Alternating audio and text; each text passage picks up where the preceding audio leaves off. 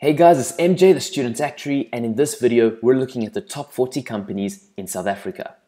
So here they all are, and we're just to very quickly describe each one. So the first three are mining companies. This one bases on platinum, this is on general, and this one is on gold. Aspen is a pharmaceutical company. They make a lot of drugs, especially around HIV AIDS and all those type of things. Brait, as you'll remember from one of the previous videos, is a private equity company that is listed on the Johannesburg Stock Exchange, and they also want to get listing on the London Stock Exchange. Bidvest is a company, bit of like a conglomerate. They do a whole bunch of various things like logistics. They even have some financial companies as well. But yeah, they're kind of like a general all sorts. BHP Billiton, it's another mining company. They also have operations in Australia. Barclays is a bank based in England, and they've purchased Absa Bank here in South Africa. British American Tobacco is one of the biggest companies in the world, and by their name, you can know that they sell cigarettes and various products like that. Uh, Capco, they buy property in England and they're listed here on the South African Stock Exchange. Capitec is a new upcoming bank that is really growing quickly. They're doing a lot of exciting things, very innovative, but also quite small compared to the other banks in South Africa. Richemont is was one of the Johann Rupert companies. It's with like Swiss luxury goods. I think it's also on the Swiss uh, stock exchange. And I think the only company bigger than them in this sector is Louis Vuitton. So they are they are huge, huge, huge, huge. Intu Properties also they're buying property in England and they listed here on the South African Stock Exchange. Growthpoint, they buy a wide array of properties. So also in the property sector. FirstRand, this is where you've got companies like First National Bank, and, and other financial companies. So, big uh, financial company, that one. Discovery is a medical aid started by actuaries and is doing very well. They are pushing into general insurance and banking and are becoming quite a big force in the financial sector. Investec, they are an investment bank, but they also offer normal banking services and they do a lot of corporate uh, business and finance and all that type of stuff. Also, have a lot of operations overseas. So they're trying to be like a big global player. Kumba Iron Ore, they're a mining company that mines iron. Um, MMI Holding, the MMM stands for Metropolitan and Momentum. Those are two big uh, institutional investors here in South Africa selling life insurance. Uh, then we have MTN, they're a telecommunication company. They also have businesses in Iran and Nigeria, and they're one of the biggest yeah, telecommunication companies in Africa. Mr. Price sells clothes and that type of stuff. Mondi is a company that deals with paper and packaging. They also have operations in Russia and the rest of Europe.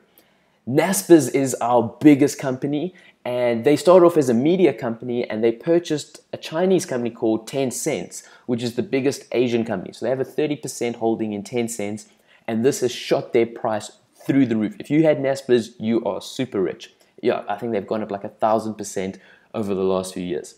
Nedbank, um, the NED in that stands for actually the Netherlands. This is a bank that has its roots from, from Holland, uh, but now they're all South African owned.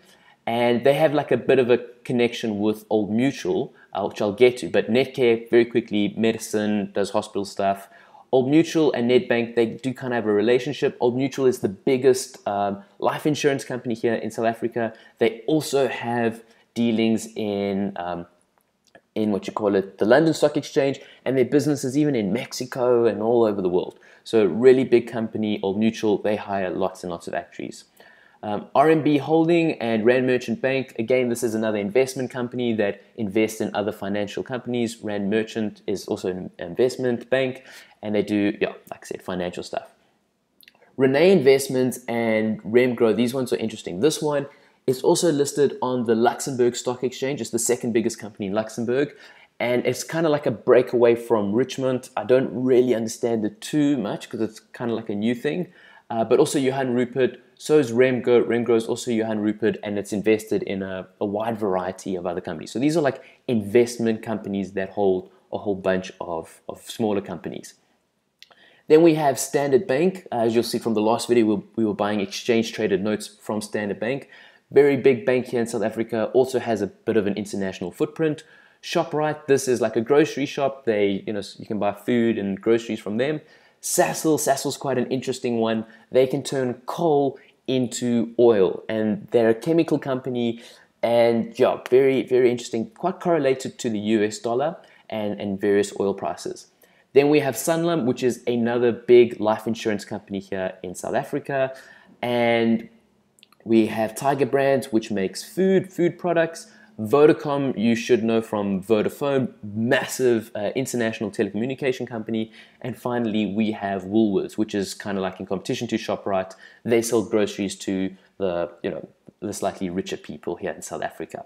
But that is the top 40 shares. Um, if you have any questions on any of them, feel free to leave me a comment in the comment section below. And also let me know which ones we should buy. Because look, we have got a demo account. We have been buying. Um, let's actually get a quick little overview. We've only been doing this for one day. So how we how have we been doing? We started with 100,000. And look, we've, we've already made two rand. We've already made two rand. So we're doing quite nicely. Um, I did go and buy British American Tobacco and MTN. And one of you did recommend that we buy Discovery. But if you have any suggestions, let me know in the comment section below of those top 40 companies and we will add them to the portfolio. Thanks guys so much for watching and I'll see you next time for another video. Cheers.